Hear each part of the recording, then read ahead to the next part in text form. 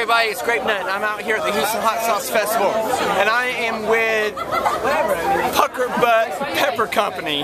Sorry, I have to look at the sign because PuckerButt Pepper Company, they have the Reaper sauce. This is really hot, and I want you to check out PuckerButt Pepper Company online because they are a sponsor of Grapie's Virtual Run.